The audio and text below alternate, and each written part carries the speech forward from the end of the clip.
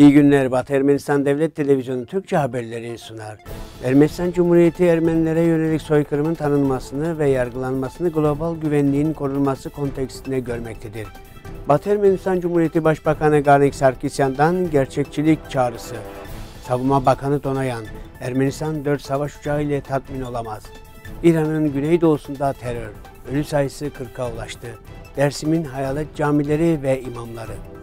Mirik Antik Bölgesi'nde tarihi kültürel ulusal park oluşturulacak. Ermenilerin kutsal Dırındez Bayramı.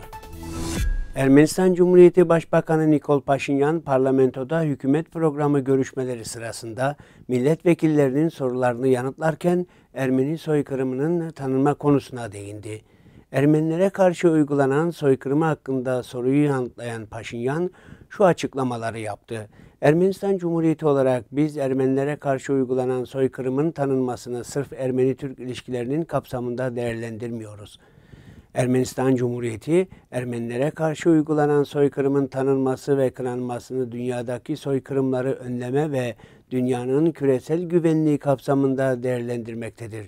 Soykırımları önleme sürecindeki en verimli araçların soykırımın tanınması ve kınanması olduğu bellidir. Bu bağlamda olabilecek kadar aktif olmamız gerekiyor. Bu alandaki finansal harcamalara değinen Başbakan bu fonların daha amaca uygun harcanmasını sağlamak için tartışıp karar verilebileceğini belirtti. Ermenistan Cumhuriyeti Bağımsızlık Bildirgesi'nin 11. maddesi ile 23 Ağustos 1990'da Batı Ermenistan'da Ermenilere yönelik işlenen soykırımı tanıdığını hatırlatalım. Ermenistan Cumhuriyeti 11. maddeyle 1915'te Osmanlı Türkiye'si ve Batı Ermenistan'daki Ermenilere yönelik soykırımın uluslararası alanda tanınmasını desteklemektedir. 12 Ocak 1910 tarihindeki Ermenistan Cumhuriyeti Anayasa Mahkemesi'nin protokollerin anayasaya uygunluğuyla ilgili almış olduğu karar onaylama sürecini daha da karmaşıklaştırdı. Protokollerde belirtilen Hükümetler Arası Tarih Komisyonu hakkına değinerek mahkeme, Ermenistan Cumhuriyeti'ni Osmanlı Türkiye'sinde ve Batı Ermenistan'da 1915'teki Ermenilere yönelik soykırımın uluslararası alanda tanınmasını onaylamaktadır dediği 23 Ağustos 1990 tarihli bağımsızlık bildirgesinin 11. maddesine atıfta bulunarak Tarih Komisyonu kurulmasının anayasaya aykırı olduğu kararını aldı. Mahkeme 5. paragrafta protokollerin anayasanın başlangıç hükümlerine ve 11. maddenin gereklerine aykırı şekilde yorumlanıp uygulanamayacağını belirtmiştir. Batı Ermenistan Cumhuriyeti Başbakanı Garnik Sarkisyan'ın gerçekliğe çağrısı. Fransa'nın Ermeni soykırımı hatırlama ulusal günü nedeniyle Batı Ermenistan Cumhuriyeti Başbakanı Garnik Sarkisyan tarafından yayınlanan bir makalede Şimdiki Fransız yetkililerin attıkları bu adımla Ermeniliğe hiçbir katkıda bulunmadığını tüm Ermenilerin dikkatine sunuyor. Bu konu etrafında ayrıntılar edinmek amacıyla Başbakan Sarkisyan'a yöneltilen soruya o şu şekilde cevapladı. Biz Fransa'nın aldığı kararla hiçbir sorunumuz yok. Hatta bunun için teşekkür dahi ediyoruz. Sorun bizim ulusal temel sorunlarımız karşısında bizim kendi halkımızda var olan o sonsuz cehaletidir. Örneğin halkımızın ezici çoğunluğu bugün Fransız devletinin Ermeni davası için iştenlikle bir şeyler yapmak istemesi durumunda o kendisinin imzaladığı politik ve hukuki gerçekliği bulunan belgeleri hayata geçirmesi gerektiğinin bilincinde değil.'' Nasıl ki 19 Ocak 1920'de Batı Ermenistan topraklarında Ermenistan devletini tanıdığı gibi o tanımayı tercüme ederek Paris'te Batı Ermenistan elçiliğinin açılmasına izin vererek ayrıca Sevr Antlaşması'nı işlevleştirerek ve sonra bunu Birleşmiş Milletler Teşkilatı aracılığıyla kullanarak Wilson'un tahkim kararı çerçevesinde Batı Ermenistan topraklarını Batı Ermenistan devletine devrederek ve bunun gibi bir takım gerçek adımlar atması Ermenilik için iyi bir şey yapmaktan öte bu durum öncelikle Fransa'nın kendi sorumluluğuna olan bir saygıdır. Bu nedenle makalemizde tüm Ermeni milletini bilinçlenmeye ve bugün Ermeniler tarafından Fransız devletinden beklenen gerçek ve pratik eylemin ne olduğunu bilmeye davet ediyoruz. Fransa hükümeti bugün aynı zamanda Fransız halkını kandırıyor Nerede kaldı Ermeni halkını kandırmasın? Gerçek şu ki Fransa özellikle Ermeniler açısından kendi uluslararası sorumluluklarına saygı duyarak ciddi ve olumlu adımlar atarsa o zaman yalnızca Ermenilerden değil ayrıca kendi Fransa halkından ve tüm Avrupa'dan cesaretle teşvik alacaktır. Tüm bunlar hakkında ve Başbakan Garnik Sarkisyan'ın makalesinin tamamını Batı Ermenistan Cumhuriyeti'nin resmi televizyon sitesinden edinebilirsiniz. Ermenistan Cumhuriyeti Savunma Bakanı David Donoyan, bugün parlamentoda gazetecilerle yaptığı söyleşide Rusya'dan savaş uçağı alma konusundaki soruya cevap olarak Ermenistan Cumhuriyeti 4 Su-30 savaş uçağı ile tatmin olmayacak dedi. Savunma Bakanı sözleşmeye göre savaş uçaklarının belirtilen süre içinde Ermenistan'da olması gerekiyor derken Su-30'ların en iyi test edilmiş, modern, çok fonksiyonlu avcı uçağı olduğunu belirtti. İran'ın güneydoğusundaki saldırıda 40 kişinin hayatını kaybettiği, birçok kişinin de yaralandığı bildirildi. İran'ın haber ajansı İRNA'da yer alan habere göre İran'ın güneydoğusundaki Sistan Belucistan eyaletinde devrim muhafızları ordusu personelini taşıyan otobüse bombalı araçla düzenlenen intihar saldırısında 27 kişi öldü, en az 13 kişi de yaralandı. Zahidan ile Haş yolu üzerindeki saldırı üstlenen Ceşul Adıl isimli örgüt ise olayda otobüste bulunan 40 askerin tamamının öldüğünü iddia etti. Nüfusunun tamamına yakınını Alevilerin oluşturduğu Dersim'i Diyanet İşleri Başkanlığı üzerinden kuşatmaya çalışan siyasi iktidarın kentte olmayan camiler kurup personel atadığı ortaya çıktı.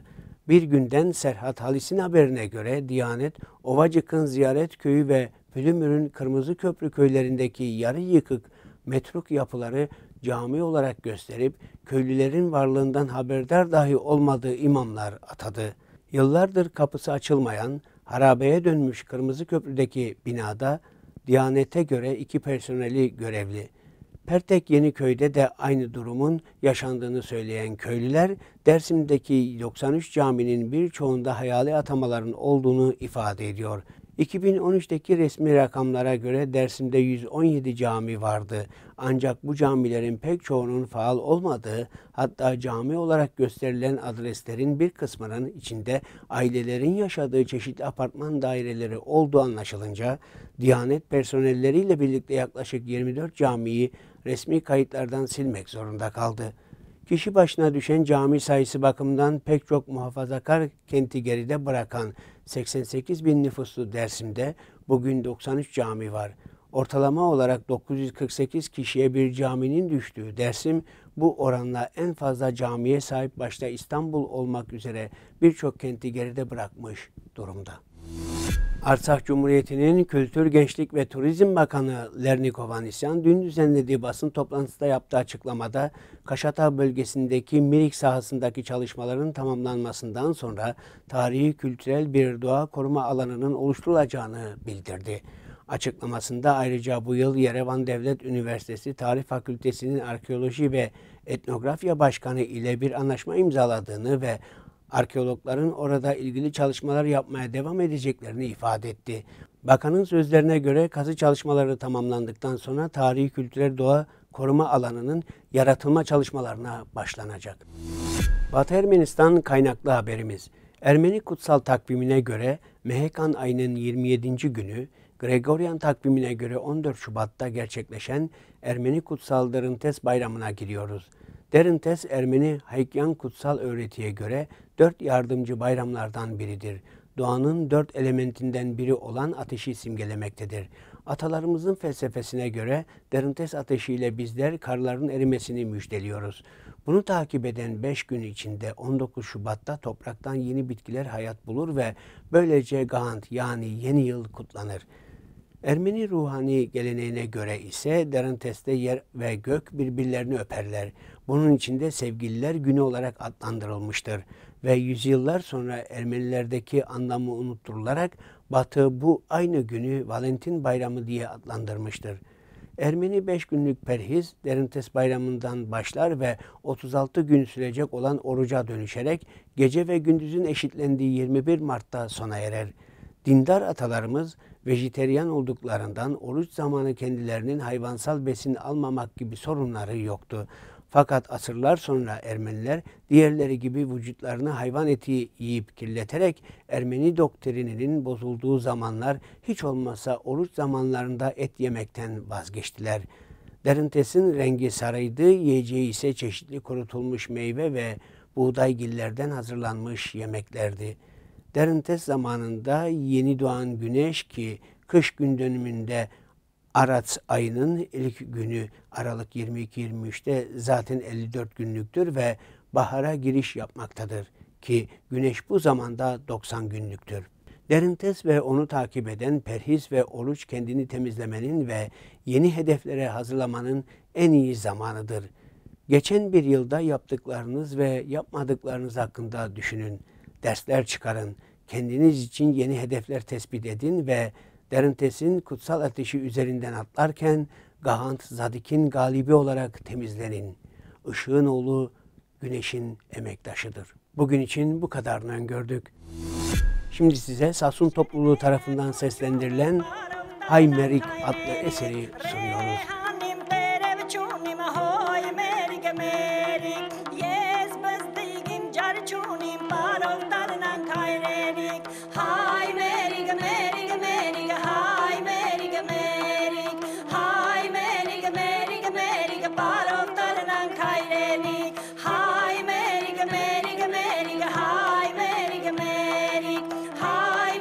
recommend.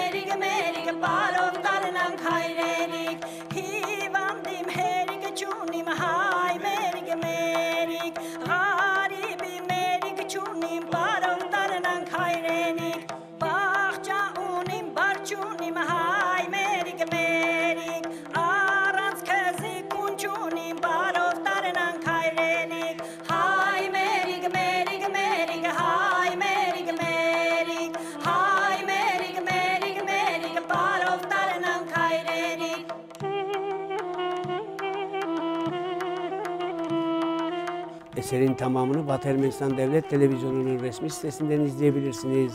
Hoşçakalın.